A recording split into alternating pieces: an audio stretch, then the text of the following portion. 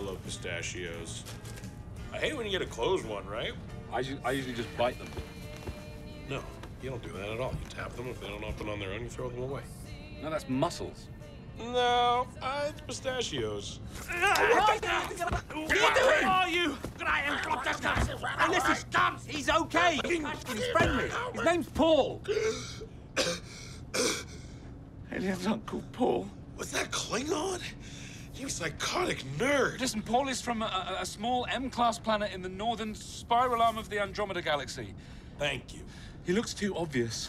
There's a reason for that, Clive. Over the last 60 years, the human race has been drip-fed images of my face on lunchboxes and t-shirts. In case our species do meet, you don't have a spaz attack. I did not have a buzz attack. Don't do it again.